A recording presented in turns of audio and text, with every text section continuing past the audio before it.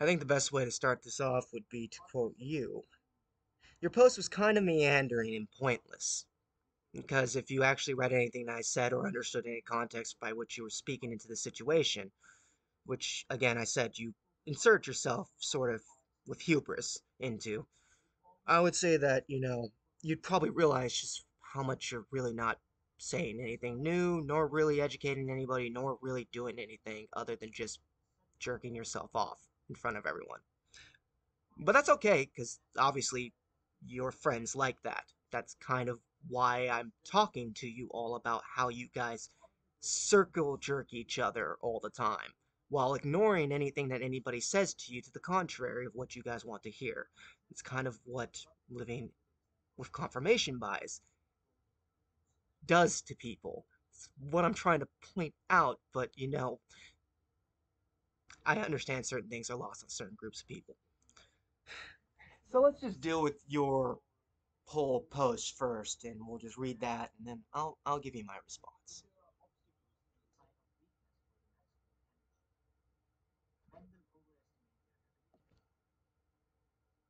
Okay, so where did you start off?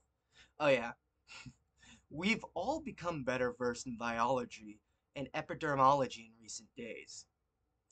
To come to the conclusion that masks aren't helpful, dot dot dot, well, isn't helpful. If you type words that mean, quote, you shouldn't wear a mask, unquote, then you should be prepared to be refuted because you're wrong. I doubt many think that masks are the whole situation, but based on insurmountable evidence from previous and current models of respiratory airborne pathogen masks are one of the best ways to prevent spread. Cover holes in face, virus can't go in. Wow, science. That was your first post. Your second one was this. Now, is attaining a level of herd immunity and inoculation vital for allowing the virus straight to wane? Yes. And honestly, I sometimes wonder if that isn't precisely why there's so many people resistant to mask. Like the virus is rewiring brains to forego logic in order to infect as many as possible. There's not much evidence for this, but if we're engaged in magical thinking anyways, dot dot dot. If under some mind-bogglingly complex government operation that would have allowed only healthy, non-vulnerable groups to go out and get the virus to obtain herd immunity, if something like that were possible in the most entitled ever and self-centered society that's ever existed, then sure, we could have tried it. But virus spread is passive and easy. A lot of your assertions and assumptions fail, fall, fall, you meant fell, in, oh no, fall into the I don't care if the sick and elderly die category because they have and are and will continue to die because of people who don't wear masks. oh, this is the guy who's only learned this stuff in the recent days. But sorry, I'm trying to finish before uh, I go and respond. What did you say? And yes, communities that are subject to systematic inequality suffer disproportionately. That doesn't mean masks don't help. Our country needs an entire overhaul, and this pandemic and plague of a president have shown a light on on the cracks that most of us have been aware of for decades. Hold on, I'm trying to finish so I can add your little friend's uh, comment. Simple minds always strike low. It's okay, homie. We're all stressed out. Maybe try Khan Academy, kids. They can explain big sciencey words for you. And then you all gloated. Because I guess you guys made a point. okay, give me a second. I'm gonna. I I have to laugh real quick, and then I'll respond. You begin this off by saying, We've all become better versed in biology and epidermology in recent days. I must first ask you, from a scientific standpoint, who is this weave you're talking about? And what do you mean by recent days? Because remember, the beginning of my post, which you obviously didn't read, is that we've known this since March of last year That things are going to get worse. That what we were doing was not the right thing. And people were warning you. Independent doctors were warning you all. Remember, there were two doctors in California specifically who resisted Dr. Fauci, spoke openly on it on YouTube. It was published all over the news, and they were publicly lambasted, almost lost their PhDs and accreditation, and literally laughed out of their profession by you all, the weave you're talking about, who only in recent days learned that this stuff is possible when these doctors told you that in March of last year. But again, let me contain myself. You go on to state that to come to the conclusion that masks aren't helpful, well, isn't helpful. And that if we type words that mean you shouldn't wear a mask, then we should be prepared to be refuted because we're wrong. You, you stated that, but this is funny because the whole entire reason why we're having this conversation is because of the fact that it's obvious the masks don't work, smartass. I'm sorry, they don't work.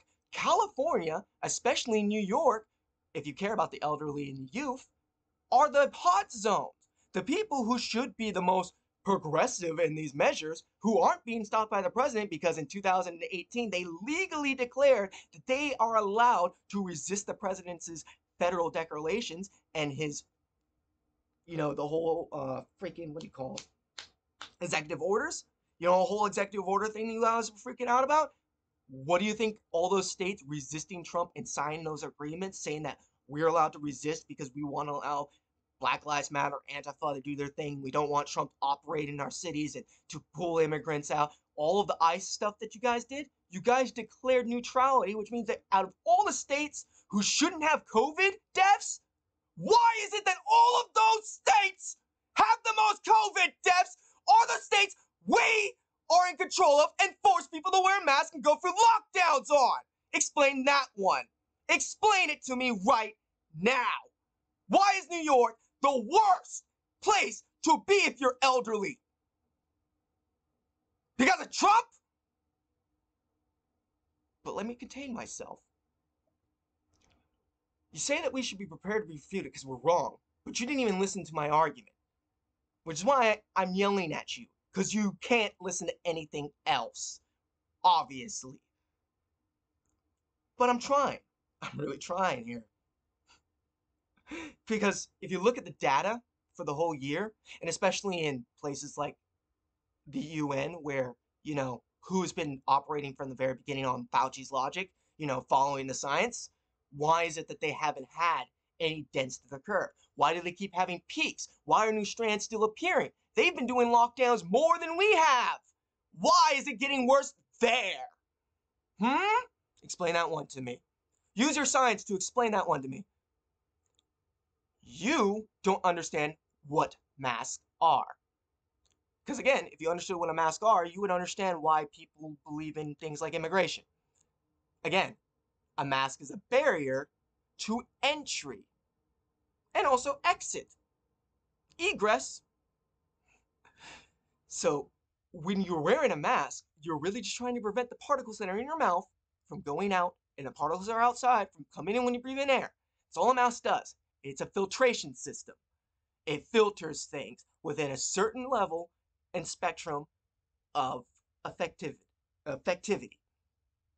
So what happens when nurses and doctors who still get COVID, because plenty of them come down with COVID still, while serving in ERs and in situations where there's a high dense population, especially in places like the EU, Wearing masks doesn't help them because the viral load overloads the mask. Remember, if you can smell something through your mask, your mask doesn't work. If you can smell something, it means particles are getting into your nose and into your body. That means things from outside your mask are getting in. So most of you all who can still smell your nice, delicious freaking food that you get from Grubhub, which by the way is still in contact with the virus, just like most of the things you guys buy from the store and most of the things you get from Amazon and most of the things you guys have been supplying yourselves with while you enjoy the lockdown while millions are suffering? Yeah. You all aren't actually doing a damn thing at all with your mask then, are you? Because most of you guys aren't actually affiliated with the medical field, so you guys don't actually know how masks work. I have to wear a mask. I served in the military. I know the spectrum of what masks are effective. And I know what mask you have to wear in order to prevent certain things from getting inside your body and killing you. Kinda was an important part of my job. Kinda had to make sure that I checked other people to make sure they didn't die. Kinda had to go through an entire process of being tortured if I didn't know how to put on a mask. And funny, because even though I'm against wearing masks, I still put on my mask whenever I believe that either I am at threat or put others at risk for others' safety and security. Even if I disagree with them, I still humor them by actually hearing them out in their concerns and not trying to make them feel more scared because I believe I'm right. Unlike you all, who forced the conservatives to yield to every single demand that you all believe you're so wholly righteously dem- right, holier than now and have the hubris and audacity to force them to agree upon. Literally, you guys will never listen to anything other than what you all want to hear. Yet you have the audacity to tell us that we're wrong. You understand how freaking annoying you are. But let's continue. I want you to publish this insurmountable evidence from previous and current models of respiratory airborne pathogens. Show me this research, because I almost guarantee you did not do as much research as I have over the last two years of this. Because again, COVID is a biological agent. Bet you didn't know that because you don't study how biological agents are created and how the common cold does not act in the way that the COVID does. COVID was designed purposely to do the things that it did. They designed it, most likely in the Wuhan labs, five hours away from Hong Kong, where they were having protests that they need to stop because it's causing the Western world and the forcing the UN especially to pay attention to China and their aggressive, fascistic, totalitarian regime and what they're doing in foreign countries, especially in the United States, like most of your media, cover up. Because you all don't give a damn about foreign collusion, unless the Chinese tell you to. Ironically enough, the same people telling you about Russian collusion are the same people colluding with the Chinese. Go figure. Oh, and they also colluded with the Russians, too. Go figure they worked with both sides and just stuck with the one who pays them more. But whatever. Let's stick to the point of insurmountable proof people are freaking great. There's nothing that shows that masks can protect you if you're stuck in a room full of people with COVID. Masks are a placebo effect, which allow the population to not resist what is happening, which is a natural spread of a disease that has a natural progression and will aggressively pursue reproduction through any means possible. It will lie dormant if it has to. It will express itself through multiple genetic adaptations to the population the first second it gets. The only way to let it get killed is to not allow enough variation to occur. So letting the virus isolate for long periods of time to incubate in isolated populations and then recongregating them only to lock them down again and then recongregate them does nothing more than do what the flu does and what the common cold has done for the last hundred years. So, Mr. I've done the research. Show me the figures that prove that the common cold has changed any of its behaviors when it was forcibly changed into a different disease. Because if you could show me that research, then explain to me why COVID is such a unique disease compared to everything else that we've faced before, yet expresses the same behavior of the flu when we do these things that we're currently doing and have known will cause these effects since last year based on what we understand about diseases like the flu, which spread through similar methods.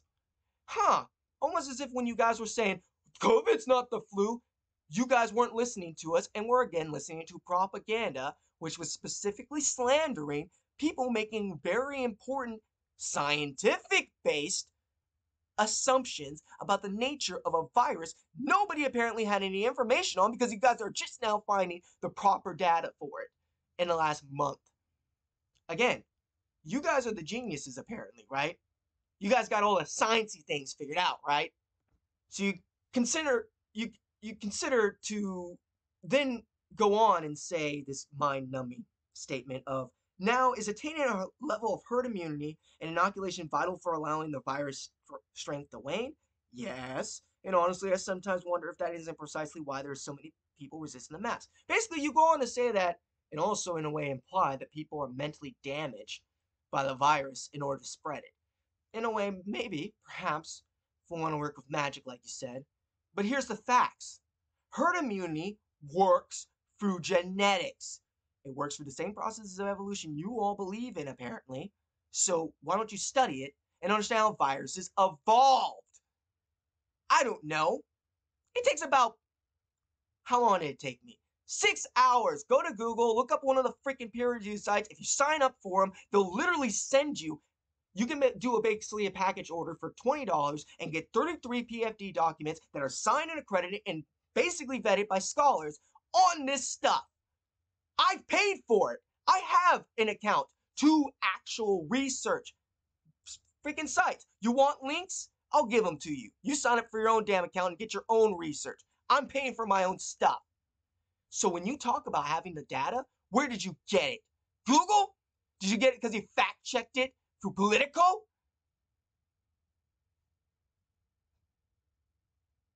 Like, seriously. Don't talk to people like they're children. Do not talk to people like they are beyond being able to give a damn about the things going on around them. You talk about people wanting to die. You're talking about us wanting other people to die. You talk about us being so goddamn negligent when you all won't even listen to a damn thing we say for an entire year, only to freak out when what we said will happen happens anyways. But go figure. So let's finish this up, okay? If under some mind-bogglingly complex government operation that would have allowed a healthy... No, no. There doesn't need to be a perfect utopian society to allow people to go outside and decide if walking through a park needs to wear a mask or not. You need to wear a mask when you're in a hospital. Sure, wearing a mask inside of a closed, sweaty, damp, freaking annoying environment like a mall which all of you people have been going to for the last year because they opened those up really quickly, that makes sense. Having a mask on in the strip clubs that are open, because having strip clubs open is so damn important. Yeah, um, I think you can wear a mask for that. Maybe church even, which have been closed for a year. Every church, most religious institutions, no large gatherings, no large congregations, can't even meet outside in the parking lot, right? Religious organizations People can't go outside and meet in the parking lot, but you can go to the mall, you can go to the store, you can go to a strip club, you can go fishing, you can go to the park, you can go basically to the hotel, you can go party at the bar. But people can't go and have faith. You people talk about science and you don't even care. You don't care about what you do to people. You don't listen to other people who you affect with your science. And you talk to people like we're somehow children. You all are children playing God with the freedoms and fucking things that other people have given their life to earn, while you all sit there and scavenge from everyone before you that you hate. Because you're all spiteful people. Spiteful and vengeful people who hate an entire demographic of people who you don't even want to know. And you dare to talk about how we don't care about you all when we understand where you're coming from. We just don't want to be like you and hate a group of people who have done nothing to us. So all of your assertions and assumptions fall into I don't care about the entirety of the damn nation, which has said we are suffering under these lockdowns. We are not being taken care of by our representatives, and nobody's doing a damn thing other than saying we need to just put up with it. And who are these people? I bet all of you guys are either employed, have some sort of financial security, or some sort of house over your head that you don't have to worry about losing every damn second and night of your life. But thousands, millions are. And you don't give a damn about them, their children, their parents, or any of us. So check yourself. So when I say you're wasting our time saying crap that we've heard before and also crap that we've studied before and crap that we told you before, don't you dare then go on a tirade trying to talk to me as if I somehow was not any more clear than I was when I first responded to you. You are wasting all of our times. You're speaking like an imbecile who never listened to anything we said, and you're sitting there talking like you're so ass damn sure of yourself when you didn't even answer or respond to a damn thing I said to you. You're just talking for the damn jury to jerk you off, so go and have them jerk you off on your own damn response and form. Go to your own profile and say, hey, on Berto's thing, there's this idiot who said the idiotic thing of I don't think people need to be forced to wear masks by the federal government. It should be done on a state by state basis and on a basis by where we assess who's most at risk and who can actually be allowed to build up an immunity to this. Piss off. You people make me sick. Yet you talk about unity. Unify with us by listening to us and not being allowed to speak or say your mind because we think you're stupid. Oh, you're trying to prove that you're not stupid? Well, we're not going to listen to you because we just want to assume that you're stupid.